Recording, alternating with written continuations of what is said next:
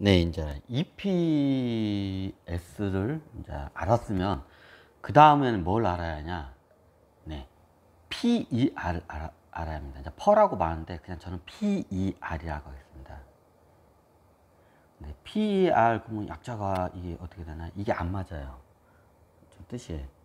그래서 제가 그냥 PER이란 정의를 제가 그냥 여러분들한테 설명을 드릴게요. 네, 이번 강의는 P E R PER이 뭐냐? 아, 이제 이게 PER이 음,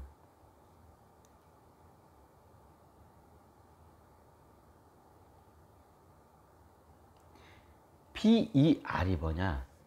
PER이라는 거는 어, 이 회사가 어, 한 주당 벌어 들인 금액 대비 네.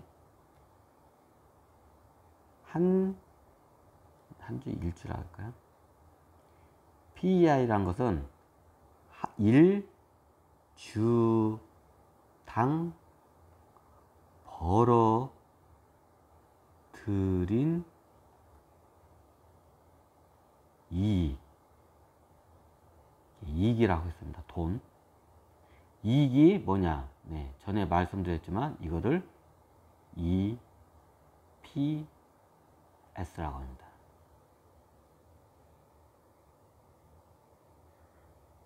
그러면 이 한 주당 벌어들인 이 EPS와 이제 이 회사가 비싼지 싼지를 비교 분석을 해야 할 거 아니에요. 그럼 이 회사 현재 한 주당 가치 대비 한 이익의 그 몇 배인지를 이제 파악을 하는 거예요. 자, 아까 전에 말씀드린 이 회사가 총 발행한 주식, 아, 즉 1년 동안 1조 원을 벌어들였고, 총 발행한 주식이, 어, 저기 뭐냐, 천만 주예요. 그래서 아까 전에 하지만 EPS가 10만 원이에요.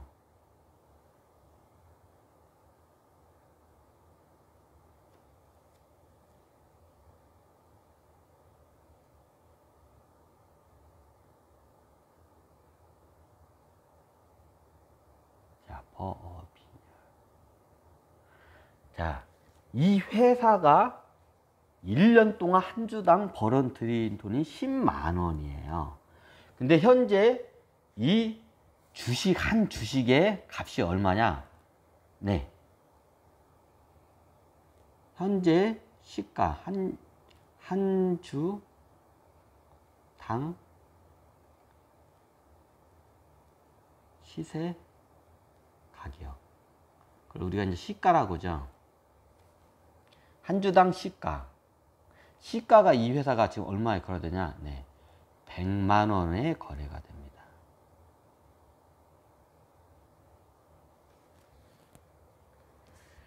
이 회사가 한 주당 1년 동안 거래된 지 10만 원인데 현재 이 주식의 한 주 가격이 지금 현재 유가 시장에서 거래되는 금액이 100만 원입니다. 자, 그럼 간단합니다. 현재 한주 시세를 갖다가 어, 1년 동안 벌어들인 돈을 나눈 거예요. 그러면 1년 동안 벌어들인 금을 자, 나누면 100만 원 나누기 10만 원. 네. 그러면 얼마인가요? 네, 10입니다.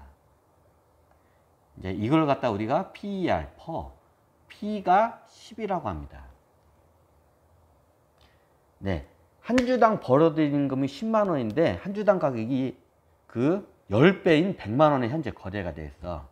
그래서 PER, 퍼가 10배라고 합니다. 내 한 주당 벌어들인 금액 대비 현재의 주식 시세 가격이 10배로 형성이 돼 있다. 이걸 PER 10이 10배라고 합니다. 10배. 10배면 싼 건가요? 비싼 건가요? 보통 10배 나오는 회사가 그렇게 많지는 않을 거예요. 보통 PER이 20배, 30배 이렇게 나오고 심하게는 막 1000배, 만배도 나오고 네? 1000배, 만배 실질적으로 있어요. 그런 회사들이. 그래서 여러분들이 PEI라는 거를 알아야 하는 거예요. 그럼 즉 이 말은 여러분들이 현재 이, 이 주식, 이 회사의 주식을 한 주를 샀다고 가정하잖아요. 그럼 100만 원 주고 샀잖아요. 그러면 여러분들이 100만 원을 샀는데 이 회사가 100만 원을 여러분이 투자를 했어. 한 주를 사서 100만 원을. 100만 원을 갖다가 벌어들이는데 얼마나 걸리나요? 네, 10배니까 단 10년이 걸리죠. 1년에 10만 원씩 꾸준히 번 걸 가정을 했을 때 여러분들이 투자한 100만 원만큼 벌어들이는데 10년이 걸립니다. 그래서 이거를 역으로 하면 PR이 10배라고 하는데 이거를 갖다가 음,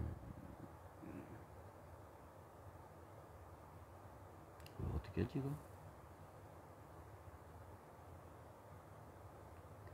오케이. 이건 위에 안 쓰고 그냥 하겠습니다. 자, 그러면 자 P E R이 10배로 되어 있습니다. 퍼라가 퍼라고도 합니다. PER이라고도 하고 자, PER이 10배가 되어 있습니다. 이 말은 여러분들이 지금 한 주당 이게 100만 원인데 1년에 어, 10만 원을 번대 한 주당. 그러면 꾸준히 10만 원을 벌면 많이 벌었을 때 내가 투자한 100만 원만큼 다시 벌어들인데 얼마나 걸리나요? 네. 10년이 걸립니다. 10 곱하기 10이 100만 원이니까. 10, 만원 곱하기 10년 하면 100만 원이 됩니다. 내가 투자한 100만 원, 내 돈 한 주를 샀어, 이 회사를. 한 주 100만 원을 투자해가지고 이걸 갖다가, 어, 내, 내가 투자한 원금을 뽑아내는데, 수익을 얘가 내는데, 어, 쉽게 말하면 딱 따블을 낸다고 그죠. 어떻게 보면. 자기가 투자한 금액만큼 어, 돈을 벌어들이는데 두 배로 뻥튀기 시키는데 얼마? 어, 10년이 걸립니다. 이게 퍼와 10배. 이런 개념으로 이해하시면 돼요. PER은. 왜? 이 회사가 버는 대비 얼마나 주가가 고평가된지 저평가된지 측정하는 지수가 PER입니다. 뭐 PER 10배면 네 제가 말씀드린 PER 10배가 PER이 낮으면 낮을수록 투자하기 좋은 상, 도, 좋은 회사죠. 자 내가 이 회사를 투자했는데 내가 투자한 돈만큼 거둬들이는데 100, 내가 주, 100년 후에나 내가 투자한 만큼 벌어든데 그럼 PER 100배인 회사입니다. 자 그런 회사에 투자하고 싶나요? 내가 투자한 회사만 저기 투자한 돈만큼 벌어들이는데 100년이 걸려. 내 손자 때도 타자 먹을까 말까에 그런 회사에 투자하고 싶나요? 별로 투자하고 싶지 않죠, 당연히. 근데 내가 한 회사에 보통 한 예를 들어서 PER이 실질 아니 하여튼 PER이 10, 10 배야. 그럼 PER 10배면 10년이면 내가 투자한 만큼 얘가 돈을 벌어들이는 거예요. 투자한 금액만큼. 내, 내 투자금을 회수를 하는 거 쉽게 말하면.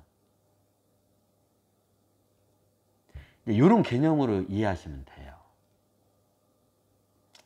그러면 이게, 이게 그럼 10배가 좋은 건가? 10배가 굉장히 잘 안 나와. 10배 이하로 나오는 회사 그렇게 많지가 않아요. 보통 유가 시에는 20배, 30배로 이게 좀 약간 안정적이고 대기업인데는 PER이 20배, 30배로 대부분 형성이 돼 있어요. 그래서 PER 10배 밑으로 떨어진 게 할수록 좋긴 좋은데 이런 회사가 그렇게 많지 않아요. 실질적으로 있긴 있는데 이제 그게 여러 각도적으로 또 다시 분석을 해야 돼요. 이게 상대적인 여러 가지 또 이유가 다 있기 때문에 그러면 PER에 대한 여러분들이 이해하기 쉽게 쉬운 관점에서 제가 다른 걸 비유를 해서 한번 설명을 드릴게요. 자, 여러분들이 길 가다 보면 노점상 보면 붕어빵 아, 아줌마나 아저씨들이 있죠. 어, 왜 붕어빵이냐고요? 어, 이제 이거는 예전에 저희 누나가 붕어빵 큰 누나가 제 저희 큰 누나가 참고로 서태우 서 태우인데 하여튼 우리 우리 큰 누나가 참고적으로 예전에 이게 좀 어, 저기 어려워가지고 어 저기 집안의 가장이 돼서 어 저기 그 붕어빵 장사를 한 적이 있었어요. 그게 한 20년 전 됐나? 20년 전 됐나? 한- 꽤 오래됐어요. 한 15년인가 20년 전인데, 내가 야, 저기, 그게 우리 큰 누나의 붕어빵 장사하는 걸 옆에서 하는 거 보니까 이게 딱 이게 이거로 비유를 했을 때 하더라고요. 우리 큰 누나 그냥 저기 이름이 적으니까 그냥 서태우라고 하겠습니다. 아무 아무 의미 그냥 이 성은 서씨, 서씨이고 이름은 태우 저기 태우입니다. 성이 서씨이고 이름이 뭐 서, 서태지냐고 아니 서태지하고 뭐 이게 아무 관계 없습니다. 이 서태우가 이제 저기 창업을 해요. 자, 자 PER이라는 이제 개념을 왜 상대적인지 이게 이걸 이제 여러 각도로 한번 제가 저기 이게 예시를 들어서 한번 하겠습니다. 이 서태후가 저기 어, 창업을 해요. 뭐를 어, 붕어빵 장사.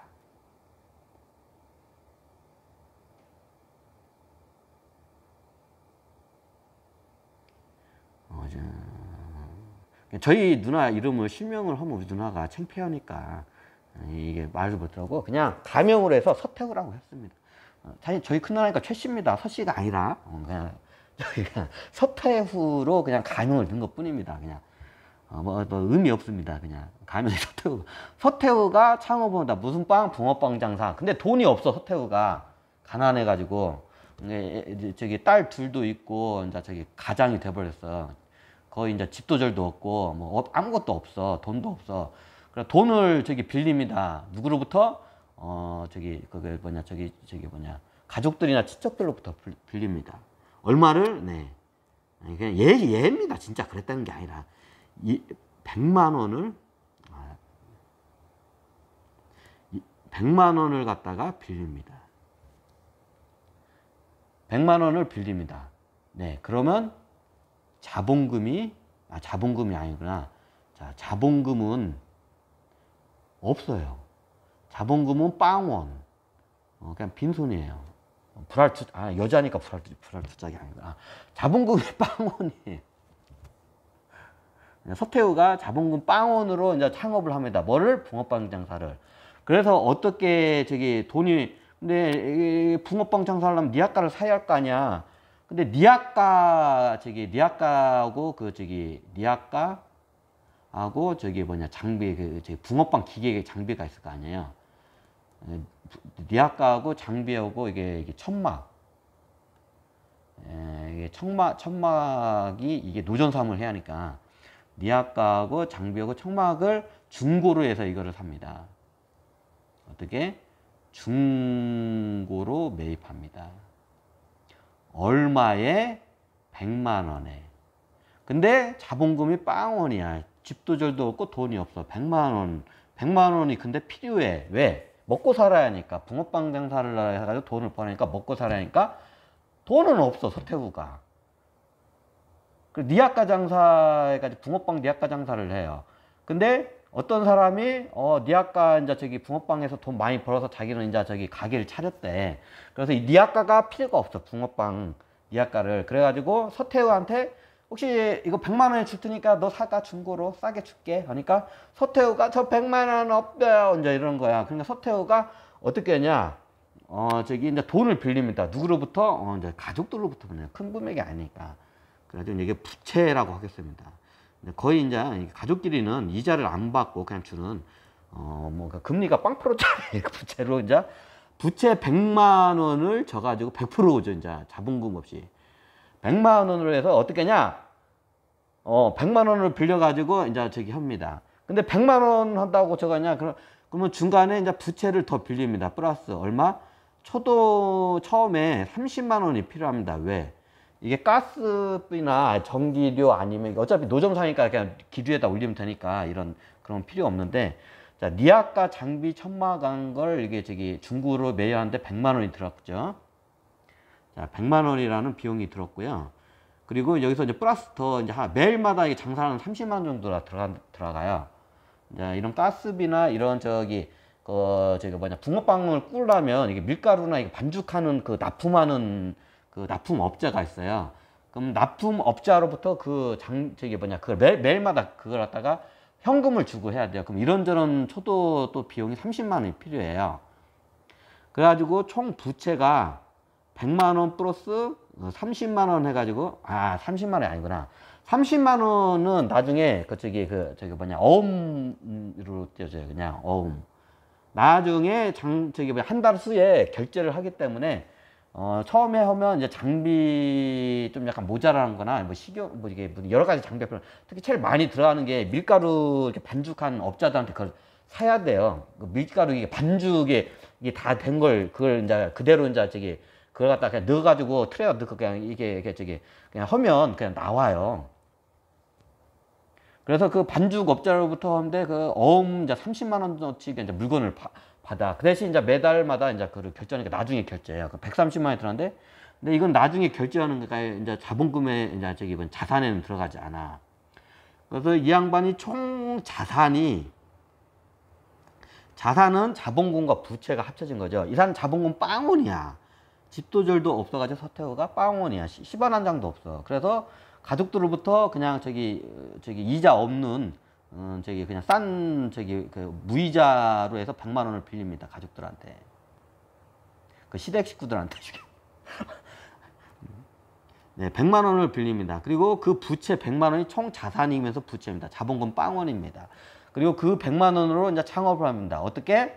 네, 그 붕어빵 장사하던 아저씨는 이제 저기 장사 잘 돼서 가게 번듯한 가게를 하나 차렸고 이 아저씨는 니아까가 이거 장비가 필요 없으니까 붕어빵 장비가 필요가 없으니까 이거를 우리 서태후한테 팝니다. 얼마에?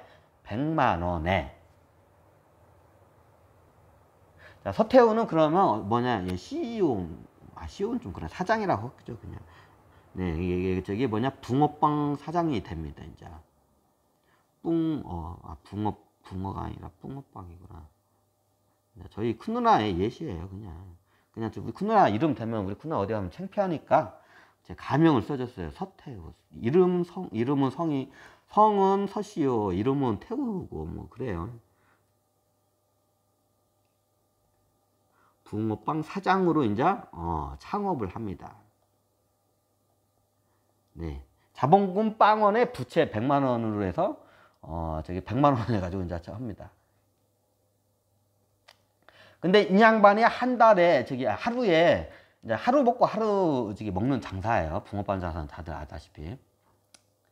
그래가지고 이 양반이 100만 원짜리 장비를 사가지고 이제 저기 서태후가 이제 길에서 노점을 합니다. 그리고 이제 저기 붕어빵을 굽습니다. 이제 붕어빵 반죽을 붕어빵 반죽을 서태후한테 대줘요. 바, 이제 이걸 이게 뭐냐 이제, 이제 하청업체라고 하냐 이제 납품업체가 있어요. 붕어빵 반죽을 이게 납품 업체 네. 납품 사장님이 이제 저기 일단은 돈을 안 받고 처음에는 그냥 저기 이게 밀가루나 이런 저기 이런 식자재를 갖다가 다 납품을 합니다. 그리고 이제 월말 결산할 때 그때 한 번에 이제 받아가요. 그러니까 초도 비용이 이제 일종의 그게 어음과 같은 역할이에요. 이제 어음 날짜가 월 말일 뿐이죠. 어음을 발행을 해요. 어음을 발행해. 어음을 발행을 해서 네. 이제 월 말에 이제 어, 이제 그 어음 정산을 하는 거죠. 네, 이해가 되시죠? 그래가지고 그럼 간단해요. 그러면 이게 붕어빵 틀이 있을 거 아니야. 틀에다가 붕어빵을 갖다가 이렇게 붕어 모양을 여기다가 이제 반죽을 갖다가 여기다 이제 납품한 사장이 반죽을 여기다 넣잖아요. 반죽. 반죽을 갖다 넣어가지고 이제 열을 가해서 구우면 이제 붕어빵이 나옵니다. 아, 물론 이제 팥도 넣죠. 팥도 같이 이제 납품을 해요. 납품 사장이 따로 있어요. 납품하는 그 업체들이. 그럼 그렇게 해가지고 누구한테 판다? 어, 네. 고객한테 이제 판매합니다. 그럼 그에 대해서 이제 한, 하루에 이제 수익이 발생할 거예요. 이게 하루에 이제 저기 이게 보니까 어, 이제 반죽값 빼고 뭐 저기 전기세 빼고 뭐 빼고 뭐 빼고 보니까 하루에 1일, 야, 1, 1, 1일입니다. 1년이 아니고 1, 일에 이 양반이 어, 다 이것 빼고 이것 이것 빼고 저것 빼니까 10만 원이라는 일일 10만 원이라는 예, 이익을 남깁니다. 마진을 남기죠. 반주값 빼고 전기비 빼고 뭐 빼고 뭐 빼고 다 빼고 인건비는 안 빼. 이제 인건비가 여기는 안 뺀 거죠. 이제 어차피 자기가 가져가니까. 근데 결론은 자본금 빵원에 자본금 빵원으로 창업을 했습니다. 누가 서태후가. 자, 부채를 졌습니다. 어, 자본금은 10원 한 장 없이 빵원으로 하고 부채는 100만 원 내서 그거를 저기 창업을 합니다. 네, 중고 니아카 장비를 사서 100만 원으로 창업을 합니다. 붕어빵 사장님으로 창업을 합니다. 그리고 반죽 사장님한테 어음을 발행을 하고 뭐 시적을 않고 그냥 언약으로 해요. 말로는 한데 시적은 그냥 어음을 발행하는 거 똑같아요. 그 납품 사장부터 저기 그 모든 식자재를 갖다가 반죽과 뭐 저기 단팥 같은 걸 다 이게를 납품을 받습니다. 음, 거기다가 저기 그 장비에다가 붕어빵 틀에다가 이게 딱 찍어서 이게 팔면 어떻게 되나요? 네. 그러면 이제 그걸 팔면 한 개당 개당 한 보통 한 뭐 저기 한 보통 붕어빵 3개에 천 원이죠. 이게 붕어빵 3개 개당 한 300원 정도에 팔아요, 이제. 한 개당 이제 그 대략 300원 정도에 팔아요. 이제 그에 대해서 이익이 남겠죠. 그럼 하루 모든 하루를 다 총청산하고 반죽값 빼고 뭐 전기세 빼고 불 이제 가스레인지 불값 빼고 뭐 빼고 뭐 빼고 그러니까 하루에 10만 원이라는 평균 이익이 생깁니다. 오 그럼 PER이 10이네. PER이 10이 아니죠. 이거는 이거는 자 저기 6 지금 우리 공식으로는 이거는 계산이 안 돼요. 왜냐하면 이게 굉장히 상대적인 걸 제가 굉장히 극과 극을 이걸 갖다 쫙 벌려가지고 이게, 이게 설명을 드린 거예요. 왜 이게 상대적인 건지. 자, 이거는 PER이 나오지도 않아요. 왜? 이거 PER이 어떻게 되나요? 자본금이 빵원이에요. 자, 아, 자, PER이 나오긴 나오는구나. 그러면 이, 사, 저기, 이 서태후가 1년에 365일 중 한 65일은 쉬고 300일을 일을 했다고 가정을 해요. 그냥 그렇게 그냥 가정을, 가정을 해요. 그럼 300일을 영업을 했어요. 300일을 영업을 했다 가정을 하면 네, 1년에 300 곱하기 10이면 1년에 얼마냐? 네, 3천만 원이라는 네, 이익이 생깁니다. 자, 그러면 이 회사를 피하려 어떻게 되나요? 자, 그러면 여러분들은 이 회사의 적정 주가를 얼마로 봐야 붕어빵 회사를 좀 애매하죠. 그럼 PER을 지금 시총 여기로 주당 나눈 게 아니니까 시총 가격으로 하겠습니다. 그러면 1년 동안 영업이 총 영업이익이 3천만 원이니까 PER을 10배, 10배로 감안한다면 이 회사는 네, 시총 가격이 3억 원짜리 회사가 됩니다. PER을 10배를 적용을 했을 때. 좀 뭔가 이상하죠. 아니 저왜 붕뽕 저 니아까 저게 왜 왜 10억이 가, 아니 왜 3억이야? PER 10을 적었는데 3억이 나오긴 나오는데 아무리 눈 씻고 봐도 저 저 붕어빵 니아까가 3억 원짜리의 그 가치가 없거든.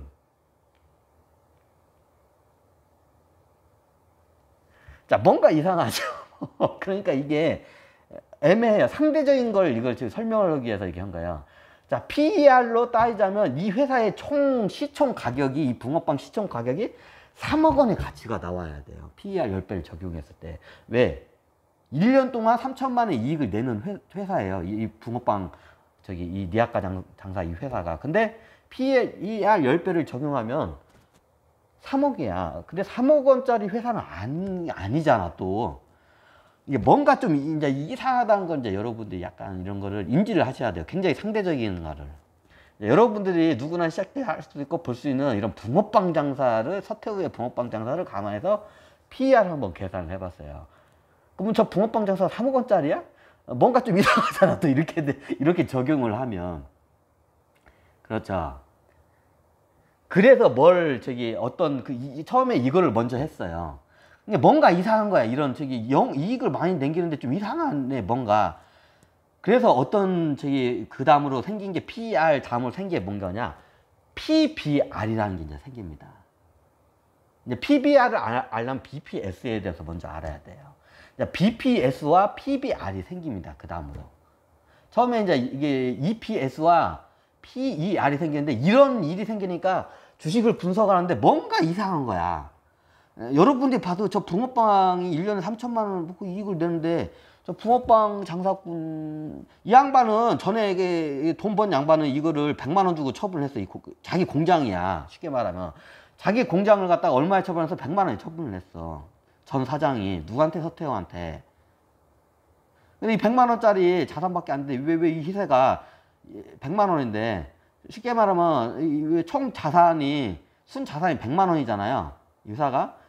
근데 이 회사를 3억 원으로 쳐준다는 게 좀 이상하잖아. PR하고 EPS를 적용하면 뭔가 이상하잖아.